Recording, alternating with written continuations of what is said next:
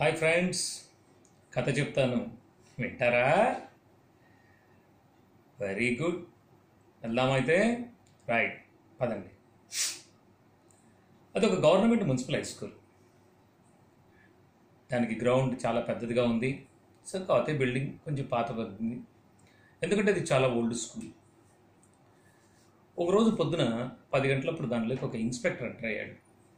Inspector enter అయ్యి ఆ clerk దగ్గరికి వెళ్ళి ఈ ప్రిన్సిపాల్ మేడంని కలవాలి అని చెప్పాడు. ఆ క్లర్క్ ఇన్స్పెక్టర్ని చూడగానే కొంచెం కంగారు పడిపోయి హడావుడిగా పరిగెత్తుకుంటూ ప్రిన్సిపాల్ దగ్గరికి వెళ్ళి మేడం మేడం మిమ్మల్ని చూడడానికి ఎవరో ఇన్స్పెక్టర్ గారు వచ్చారు మిమ్మల్ని కలవాలంటున్నారు అన్నారు. సరే మేడం కూడా కొంచెం నర్వస్ అయ్యారు. ఏంటి ఇన్స్పెక్టర్ పోలీసులు రావడం ఏంటి స్కూల్కని? ఆవిడే బయటకు వచ్చి ఆయన తీసుకుని లోపలికి వెళ్ళింది రూమ్లోకి. ఆయన కూర్చొని మాట్లాడుతూ ఏం లేదు మేడం మా ఎస్పీ గారు మీ స్కూల్కి రావాలనుకుంటున్నారు ఒకసారి వచ్చి మిమ్మల్ని ఈ బిల్డింగ్స్ను చూడాలనుకుంటున్నారు మీకు ఎప్పుడు కుదురుతుందో కనుక్కోమని పంపించారు అన్నారు. మేడం కనిపించింది ఏంటి ఎస్పీ గారు మన స్కూల్కి రావటం ఏంటి? అని ఆలోచిస్తుంటే ఆయన అన్నారు ఇది ఆయన పర్సనల్ ట్రిప్ అండి అఫీషియల్ ఏం కాదు అన్నారు. సరే మేడం కూడా కొంచెం కూల్ అయ్యి అయితే ఓ పని చేద్దాం రేపు సెప్టెంబర్ ఫిఫ్త్ వస్తుంది టీచర్స్ డే కదా ఆ రోజు ఆయన మాకు చీఫ్ గెస్ట్గా వస్తే మేము చాలా సంతోషిస్తాం మేము మా స్టూడెంట్స్ అందరూ కూడా అన్నారు. వెంటనే ఆ ఇన్స్పెక్టర్ ఎస్పీ గారితో మాట్లాడారు. ఫిక్స్ చేసాడు ప్రోగ్రామ్. సెప్టెంబర్ ఫిఫ్త్ వచ్చింది. మార్నింగ్ టెన్ ఫంక్షన్ అంటే ఫైవ్ మినిట్స్ ముందు ఎస్పీ రాజశేఖర్ ఐపీఎస్ అక్కడ దిగాడు. సో మొత్తం అందరూ ఆయన స్టేజ్ మీదకి తీసుకెళ్ళారు. గ్రాండ్ వెల్కమ్ ఇచ్చి ఒక గంట సేపు ఫంక్షన్ అయిపోయింది. అయిపోయిన తర్వాత ఆయన ప్రిన్సిపాల్ మేడంతో ఆమె రూమ్లోకి వచ్చి కూర్చున్నాడు. ప్రిన్సిపాల్ మేడం పేరు భారతీదేవి. ఆమె సైన్స్ టీచర్.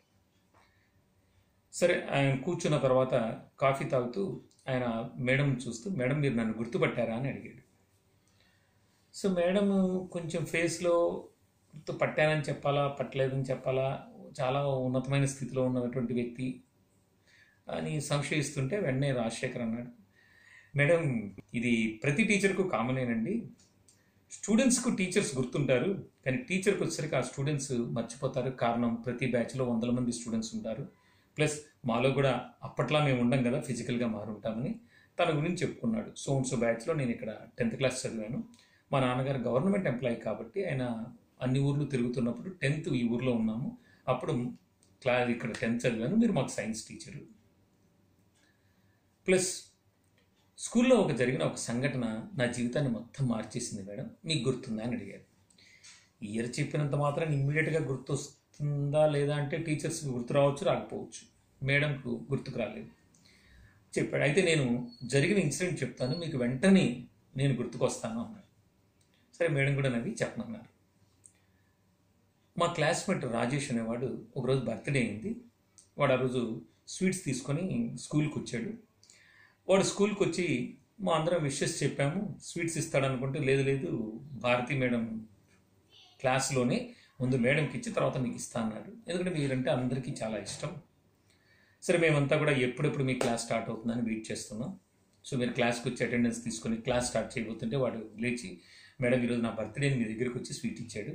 మీరు స్వీట్ తీసుకొని నవ్వుతూ వాడిని సరదా చేయడానికి మీ నాన్నగారు ఏం గిఫ్ట్ ఇచ్చారని అడిగారు. వాడు వాడి చేతికున్న వాచ్ తీసి మీ చేతికిచ్చి ఇది చాలా కాస్ట్లీ మేడం. మా నాన్న నాకు గిఫ్ట్ ఇస్తూ ఈ సంవత్సరం నువ్వు మంచి ఫస్ట్ క్లాస్లో పాస్ అవ్వాలి టెన్త్ క్లాస్ కదా అని చెప్పారు. అని మేడం మీరు పర్మిషన్ ఇస్తే ఫ్రెండ్స్ కూడా స్వీట్స్ ఇస్తా అన్నాడు మేడం వెంటనే ఫీల్ అయిపోయి మీరు వెంటనే ఫీల్ అయిపోయారు. ఫీల్ అయిపోయి అయ్యో ఇంతసేపు వాళ్ళకి స్వీట్స్ ఇవ్వలేదా? ముందు ఇవ్వమని చెప్పారు. మేము ఎప్పటి నుంచో ఎదురు చూస్తున్నాం వాడు స్వీట్స్ ఇస్తాడని. సో అందరం పరిగెత్తుకుంటూ వచ్చాం. ఆల్మోస్ట్ ట్వంటీ ఫైవ్ మెంబర్స్ ఉన్నాం ఆ రోజు క్లాస్లో. అందరం మీ టేబుల్ దగ్గరికే పరిగెత్తుకొచ్చి వాడి దగ్గర నుంచి స్వీట్స్ తీసుకున్నాం. మేము అందరం వెళ్ళి మా సీట్లో కూర్చున్నాం. మళ్ళీ వాడు మీ దగ్గరికి వచ్చాడు. మీరు ఆ వాచ్ని చూసి పక్కన టేబుల్ మీద పెట్టారు కానీ అప్పుడు ఆ వాచ్ ఆ టేబుల్ మీద లేదు. అంటే అర్థం అయిపోయింది ఉన్న స్టూడెంట్స్లో ఎవరో ఒకరు ఆ వాచ్ని కాజేశారు రాజేష్ ఏడవడం మొదలుపెట్టాడు. అయ్యో మా నాన్న ఎంతో ఇష్టపడి ప్రేమగా నాకు ఇది కొనిపెట్టాడు. టెన్త్ క్లాస్లో మంచి మార్కులు రావాలని మరి ఆశీర్వదించి మరి కొన్నాడు. ఇప్పుడు నాకు ఎలాగా అని ఏడుస్తున్నాడు. మీరు కూడా కొంచెం మీ ఫేస్లో డల్నెస్ కనిపించింది.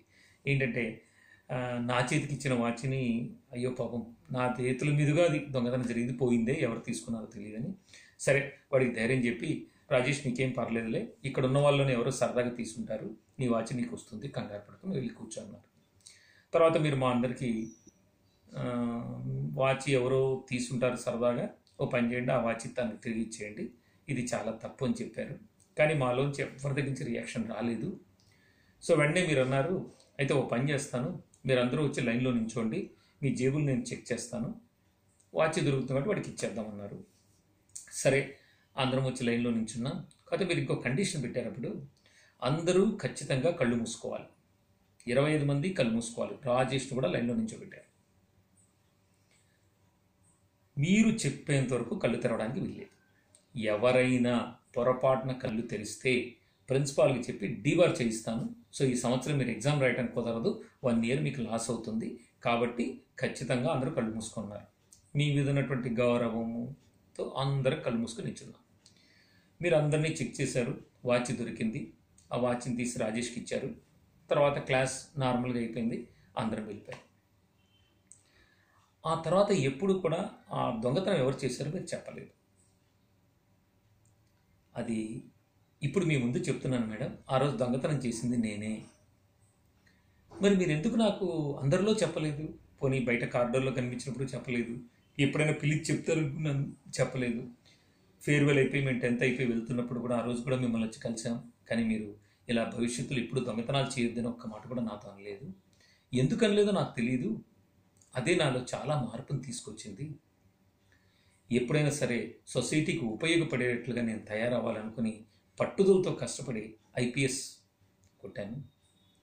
ఐపీఎస్ సెలెక్ట్ అయ్యి ఈరోజు ఈ స్థితిలో ఉన్నాను. ఒక మంచి పేరు తెచ్చుకున్నాను అంటే కారణం అది మీరే అన్నాడు అప్పుడు భారతీదేవి ఒక నవ్వునవి రాజశేఖర్ నీకు విషయం చెప్తున్నాను. ఇంతవరకు ఆ దొంగతనం చేసింది రాజశేఖర్ నువ్వే అని నాకు తెలియదు అన్నాడు అప్పుడు రాజశేఖర్ స్టన్ అయ్యాడు. అదేంటి మేడం? మీరు మమ్మల్ని అందరినీ లైన్లో నించోబెట్టి అందరి జేబులు చెక్ చేశారు? చెక్ చేసే కదా తీశారు? మరి నేను తెలియదు అంటారేంటి అన్నారు. నిజమే. మీరు లైన్లో నిల్చోవడం నిలవచమే మిమ్మల్ని చెక్ చేయడం నిజమే. కానీ మీరు లైన్లో నించొని కళ్ళు మూసుకున్న తర్వాత నేను నా కళ్ళకు గంతలు కట్టుకున్నాను. అంటే నా ఉద్దేశంలో నేను దొంగతనం చేసిన స్టూడెంట్ను చూడదలుచుకోలేదు. కారణం ఒకవేళ నేను ఆ స్టూడెంట్ని కనుక చూస్తే ఏదో ఒక సందర్భంలో క్లాసులోనో కారిడార్లోనో ఎప్పుడో ఒకసారి నోరు జారి దొంగ నువ్వు ఇలాంటి పనులు చేశావు అని చెప్పాల్సింది వస్తుందేమో. ఆ స్టూడెంట్ మీద నాకు ఒక ఏహే భావం కలుగుతుంది. అలా కలగకూడదు అనుకొని నా దృష్టిలో విద్యార్థులు అందరూ సమానమే. ఏదో సరదాగా జరిగిపోయింది. చూడడం ఇష్టం లేక కళ్ళ గంటలు కట్టుకుని మిమ్మల్ని చెక్ చేశాను. ఇంకో విషయం నువ్వు నాలుగో పొజిషన్లో ఉన్నావు. నీ దగ్గర నుంచి వాచ్ నేను తీసుకున్నాను. నాలుగో పొజిషన్లో ఉన్న స్టూడెంట్ నుంచి నేను వాచ్ తీసుకున్నాను. ఇప్పుడు నువ్వు చెప్పిన దాని ప్రకారం నాలుగులో ఉన్నది నువ్వే. కానీ తర్వాత మిగిలిన ఇరవై ఒక్క మందిని రాజేష్తో సహా నేను చెక్ చేశాను. కారణం ఏంటంటే నాలుగో వాడి దగ్గర వాచ్ దొరికిందంటే మిగిలిన ఇరవై ఒక్క మంది ముందరున్న నలుగురిని వీళ్ళే దొంగలు అనుకుంటారు ఈ నలుగురిలో కూడా ఒకడు మిగిలిన ముగ్గురు గురించి ఆలోచిస్తాడు. అంటే దొంగతనం ఎవరు చేశారో తెలిసిపోవడానికి ప్రాబిలిటీ పెరిగింది. అలా జరగడం నాకు ఇష్టం లేక మొత్తం అందరినీ చెక్ చేశాను. సీట్లో కూర్చున్న రాజశేఖర్కు కళ్ళ వెంట నీళ్ళు తిరిగాయి. ఒక్కసారిగా లేచొచ్చి మేడం పాదాలకు నమస్కరించి మేడం నిజంగా కనుక మీరు ఆ రోజు నా పేరు చెప్పుంటే మా నాన్న అసలే గవర్నమెంట్ ఎంప్లాయీ. నేను స్కూల్లో దొంగతనం చేశానని తెలిస్తే ఆయన తట్టుకునేవాడు కాదు. ఆ బాధతో నేను దొంగనైనా అయి ఉండేవాడిని లేదా సూసైడ్ చేసుకునేవాడిని అలా మీరు చేయకపోవడం వలన ఆరు నెలలు నిజంగా నేను మదనపడ్డాను. మేడం నన్ను ఎందుకు పాయింట్అవుట్ చేయలేకపోయిందని ఆ కసి కోపంతో ఈ స్థితికి వచ్చాను నిజంగా మీరు చాలా గొప్ప వాళ్ళండి అని దండం పెట్టి సెలవు తీసుకుని వెళ్ళిపోయాడు ఫ్రెండ్స్ టీచర్స్లో డిఫరెంట్ టైప్స్ ఉంటారు. కొందరు టీచర్స్ కొట్టి దారిలో పెట్టాలనుకుంటారు కొందరు టీచర్స్ తిట్టి దారిలో పెట్టాలని ఉంటారు. మరి కొందరు టీచర్స్ మన భారతీదేవిలాగా చేసి దారిలో పెడతారు. ఏ టీచర్ ఏ పద్ధతిలో ప్ర చేసినా అది విద్యార్థి మంచి కోసమే. విద్యార్థులు బాగుపడాలని భవిష్యత్తులో ఉన్నత స్థితికి వెళ్ళాలనే ఉద్దేశంతో చేస్తారు. అంతే తప్ప కోపంతో కాదు. అందుకే నా ఈ కథను అలాంటి గొప్ప గురువులకు అంకితం చేస్తున్నాను. హెడ్స్ ఆఫ్ ఇంకొక విషయం. ఈ కథ నా సొంతం కాదండి ఎక్కడో కలెక్ట్ చేసుకున్నదే మీ ముందు పెడుతున్నాను.